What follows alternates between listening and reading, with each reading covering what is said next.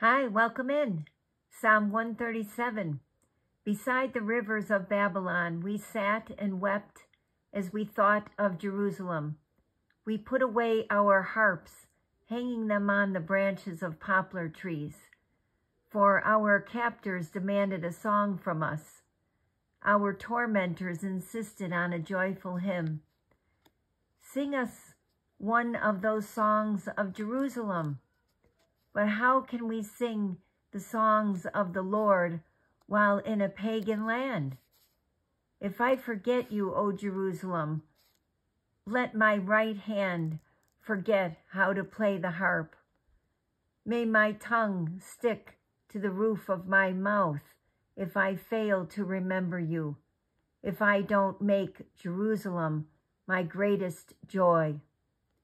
O Lord, remember what the Edomites did on the day the armies of Babylon captured Jerusalem.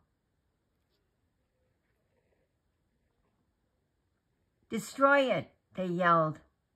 Level it to the ground. O Babylon, you will be destroyed. Happy is the one who pays you back for what you have done to us. Happy is the one who takes your babies and smashes them against the rocks.